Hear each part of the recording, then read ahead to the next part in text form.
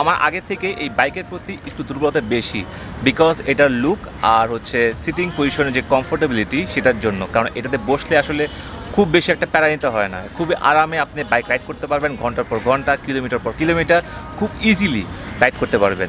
এখন কথা বলব এই বাইকটির কিছু ভালো দিক এবং কিছু খারাপ দিক নিয়ে। এমন না যে খুব বেশি ইমপ্রেসিভ বা খুব বেশি ভালো।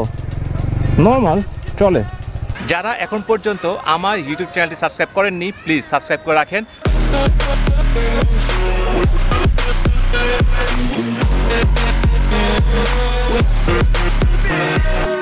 Yo guys, Assalamu alaikum. This is Namul Kader. You watching my YouTube channel Namrock and welcome back to my new vlog. আজকে আসছি একটি মোটরসাইকেলের রিভিউ করার জন্য বা আমার রাইডিং এক্সপিরিয়েন্স শেয়ার করার জন্য আর সেই মোটরসাইকেলটা হচ্ছে Honda CBR one fifty R এটা হচ্ছে রেপসোল এডিশন আর বাই দ্য ওয়ে এই বাইকটা হচ্ছে থাইল্যান্ড ভার্সন বা এডিশন যাই বলেন না কেন বিকজ এই বাইকটি থাইল্যান্ড থেকে ইম্পোর্ট করা হয়েছে।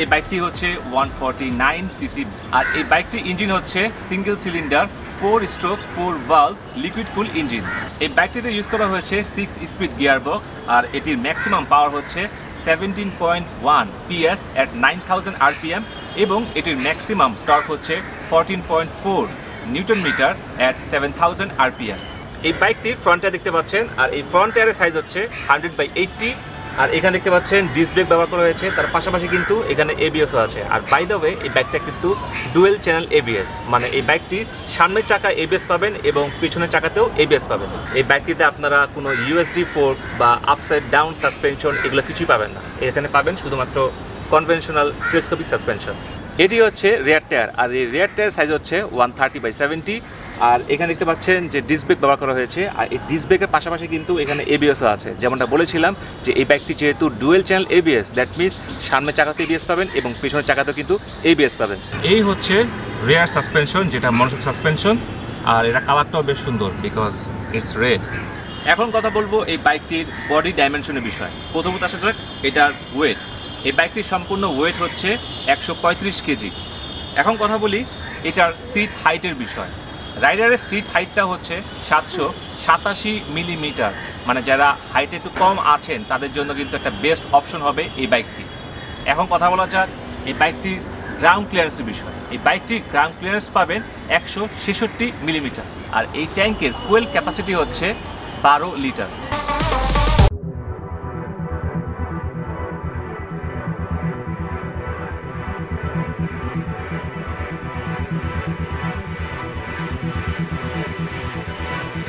Música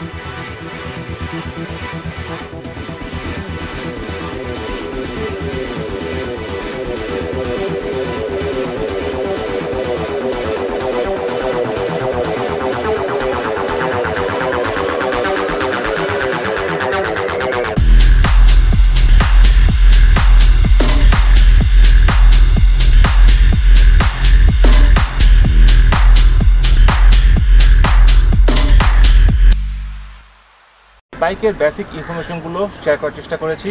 আর এখন আমি রাইড দিব এখানে।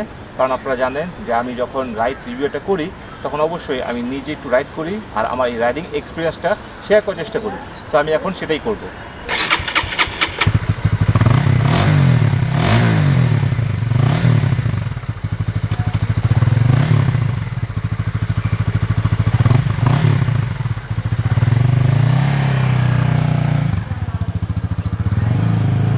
ফার্স্ট অফ অল সিটিং পজিশনের বিষয়ে কথা বলতেই হয়। কারণ এটা সিটিং পজিশনটা খুব ভালো, খুব। মানে বেশি একটা প্রবলেম হচ্ছে না আমাকে। এটা নিচু হয়ে চাইতে হচ্ছে না। খুব ইজিলি রাইড করতে পারতেছি। আর এটার যে টার্নিং রেডিয়াসটাও ভালো। কারণ খুব স্মুথলি আমি টার্ন নিতে পারলাম। কোনো প্যারা নাই। দেখা যায় যে অন্যান্য স্পোর্টস বাইকে সিটিং পজিশন থাকে অনেক নিচু এভাবে। রাইড করতে হয় বাট এটা সিটিং পজিশনটা বেশ ভালো। আর এই জন্যই কিন্তু আমি বেশি সিভিআরকে পছন্দ করি, কারণ এই সিভিআর ওয়ান ফিফটি আর বাইকগুলোর সিটিং পজিশন অনেক ভালো হয় মানে খুবই কমফোর্টেবল রাইড করা যায়। আচ্ছা এটার একটু এক্সেলেশন দেখি, কেমন? ওয়াও নট ব্যাড যাদের ব্যাক পেন প্রবলেম আছে বা যাদের হাতে ব্যথা করে স্পোর্ট বাইকগুলো চালিয়ে মানে অন্যান্য ব্র্যান্ডের স্পোর্ট বাইকগুলো চালিয়ে যাদের ব্যাক পেইন করে বা হাতে ব্যথা করে, হাতের কবজি ব্যথা করে, তাদের জন্য আমি বলব যে আপনারা এই বাইকটা ট্রাই করে দেখতে পারেন। কারণ এই বাইকে এই সমস্যাগুলো হবে না। আচ্ছা এবার একটু এটার ব্রেকিং সিস্টেমে দেখি, কারণ যেহেতু এই বাইকে ইউজ করা হয়েছে dual channel ABS okay not bad বাইকটা কিন্তু অনেক লাইট এমন না যে খুব হেভি বাইক খুব ভারী বাইক বাইকটা কিন্তু অনেক লাইট সো যারা লাইট একটু ওজন কম বাইক চান, খুব ইজি টু হ্যান্ডেল টাইপের বাইক চান, তাদের জন্য সিভিয়ার বেস্ট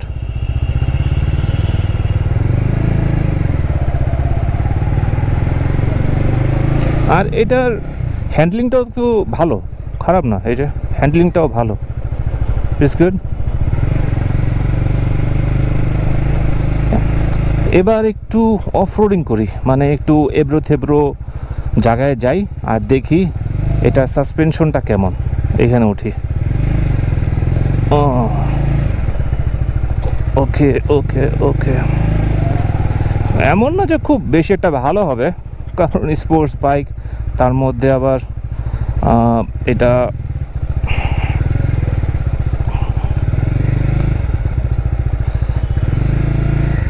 ওকে, এখান দিয়ে একটু যাই। ওকে, এমন না যে খুব বেশি ইমপ্রেসিভ বা খুব বেশি ভালো। নর্মাল চলে।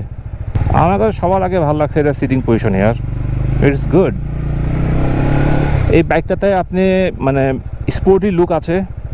এটার অ্যাগ্রেশন লুকটা না থাকলেও, কারণ অ্যাগ্রেশন লুকটা আসবে যখন আপনি একটু নিচে হবেন, একটু সামনের দিকে বেন্ড হবেন, তখন এটা অ্যাগ্রেশন লুকটা বেশি প্রকাশ পায় বাট এটা কোনো সমস্যা না। যারা স্পোর্ট বাইক পছন্দ করেন, আর যারা চাচ্ছেন যে ইজিলি রাইড করবেন without having any back pain or palm pain মানে নো এই জায়গাটা ব্যথা করে প্রচুর। সো তাদের জন্য বলব যে বাইকটা বেস্ট অপশন এখন আসা যাক এই বাইকটি টপ স্পিড এবং মাইলেজের বিষয়। টপ স্পিড সবসময় ডিপেন্ড করে দুই জিনিসের উপর অ্যাজ ইউজুয়াল আমি যেটা বলে থাকি, এক হচ্ছে রাইডারের রাইডিং স্কিল আর দ্বিতীয় হচ্ছে রোড কন্ডিশন যদি এই দুইটা ভালো থাকে, তাহলে আপনারা স্পিড অনেক ভালো পাবেন।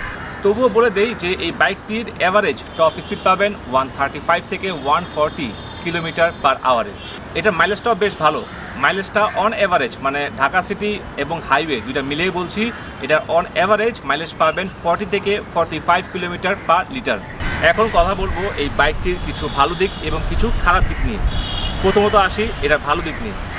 ভালো দিক বলতে সবার আগে যে চোখে পড়ে সেটা হচ্ছে এই বাইকটির লুক কারণ আউটলুকটা অস্থির, একদম অসম একটা লুক এই বাইকটির। আর বিশেষ করে আমি বলব যে এটার যে ফ্রন্ট লুকটা আছে, এই ফ্রন্ট লুকটাও কিন্তু বেশ সুন্দর বিকজ এটার যেই ডিজাইন এটার যেই হেডলাইট ডিজাইন এটাও কিন্তু অনেক মানে খুবই সুন্দর। এই বাইকটির দ্বিতীয় ভালো দিক হচ্ছে এটা সিটিং পজিশন কারণ আপনারা জানেন যে এই বাইকে সিট হাইট হচ্ছে সাতশো সাতাশি মিলিমিটার দেখা যায় মার্কেটে অন্যান্য যে স্পোর্ট ক্যাটাগরি বাইকগুলো আছে সেগুলো সিট হাইট দেখা যায় ম্যাক্সিমাম থাকে আটশো আটশো দশ, আটশো পনেরো মিলিমিটারের কিন্তু এই বাইকে সিট হাইট আপনারা পাবেন সাতশো সাতাশি মিলিমিটার শুধুমাত্র এটা না কিন্তু, এটার যে হ্যান্ডেলবার দেখতে পাচ্ছেন, এটাও কিন্তু বেশ উঁচু আছে। এমন না যে হ্যান্ডেলবার নিচে থাকার কারণে অনেকে বেন্ড হতে হচ্ছে, এই হ্যান্ডেলবারটা কিন্তু বেশ উঁচু আছে। সো আপনি কিন্তু খুব ইজিলি বাইকটা রাইড করতে পারবেন। হাতে ব্যথা করবে না বা ব্যাক পেনও করবে না। সিট হাইট একটু কম আছে, পাশাপাশি এটা হ্যান্ডেল বারটাও কিন্তু উঁচু আছে। এই জন্য খুব ইজিলি আপনি বাইক রাইড করতে পারবেন। আমি আমার এক্সপিরিয়েন্স থেকে বলতেছি, আমার হাইট যেহেতু পাঁচ ফিট সাত ইঞ্চ আমি যেহেতু আরামে বসে আছি বাইকটাতে আর ইজিলি রাইড করতে পারব সো সেই অভিজ্ঞতা থেকে আমি বলতে চাই, যাদের হাইট পাঁচ ফিট দুই, তিন আছেন, তারাও কিন্তু এই বাইকটিতে বসে রাইড করতে পারবেন। এমন না যে এমনই হবে, এটা কিন্তু আমি আমার পার্সোনাল ওপিনিয়ন শেয়ার করলাম। এমন নাও হইতে পারে। বাট আমার কাছে মনে হচ্ছে যে পাঁচ ফিট দুই, তিন যারা আছেন, তারাও এই বাইকটিতে বসে আরামে ইউজ করতে পারবেন রাইড করতে পারবেন, কোনো প্রবলেম হবে না। এই বাইকটির তিন নম্বর ভালো দিক হচ্ছে, এটার এক্সস্ট নোট আর কেন বলতেছি সেটা আমি এখন শোনাবো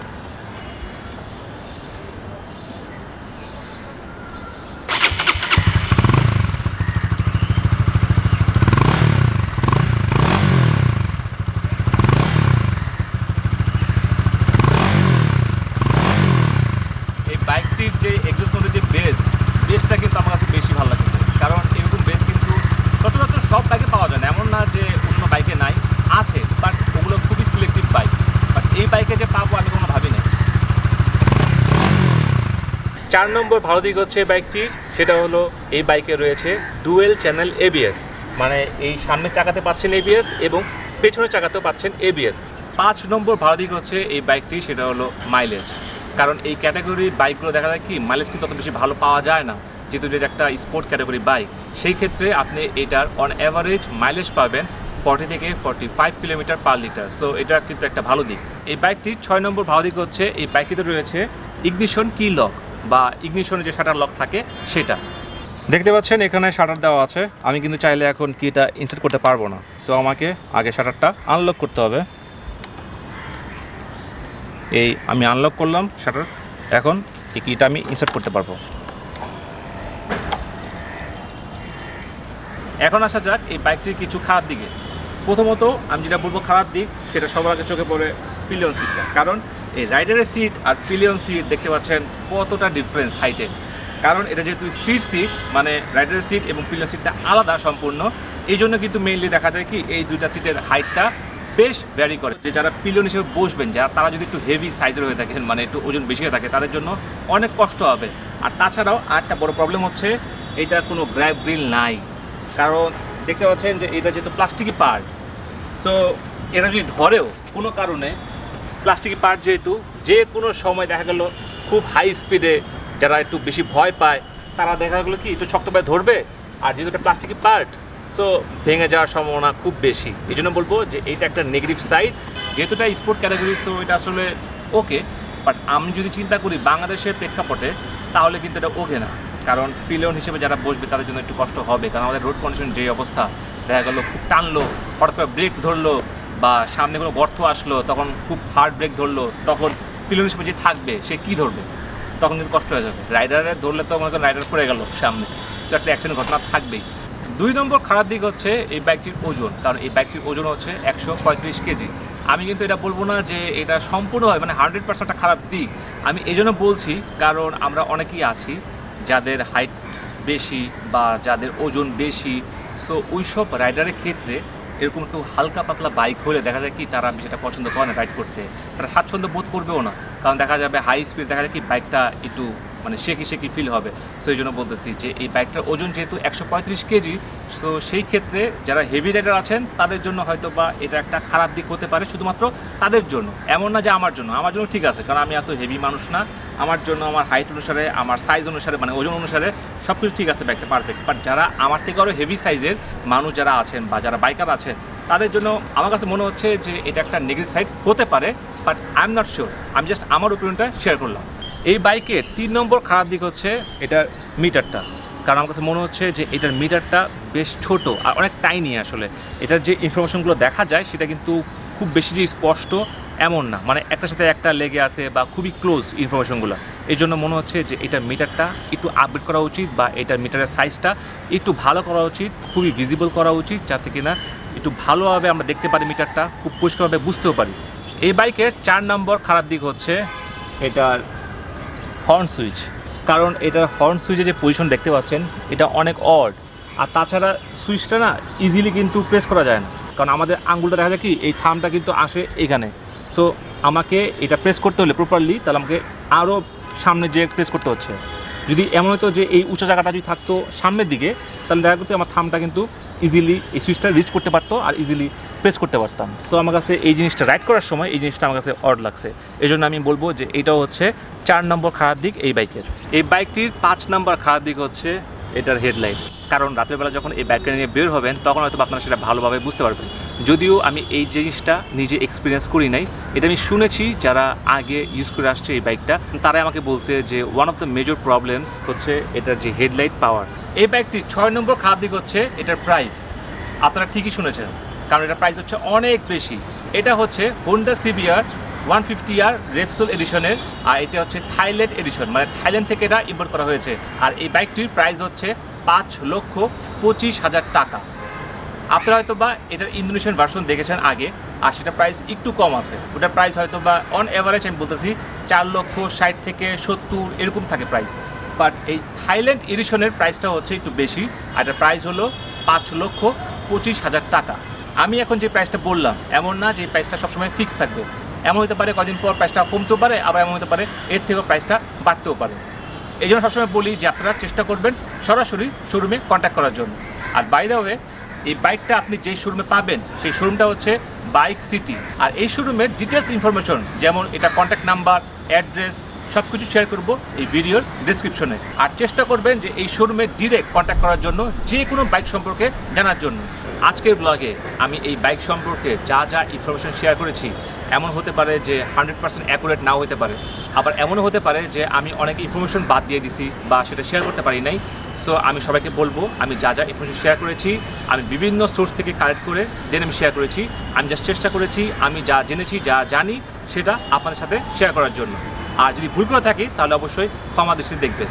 এই ছিল আজকের ব্লগ আশা করি আপনাদের কাছে আজকের রিভিউ ব্লগটি ভালো লেগেছে। যদি ভালো লেগে থাকে তাহলে অবশ্যই লাইক করবেন। আর যদি বেশি ভালো লেগে থাকে তাহলে অবশ্যই বেশি বেশি করে শেয়ার করবেন। আর যদি কিছু জানা থাকে তাহলে অবশ্যই কমেন্ট করবেন। আমি চেষ্টা করব সেটা রিপ্লাই করার জন্য।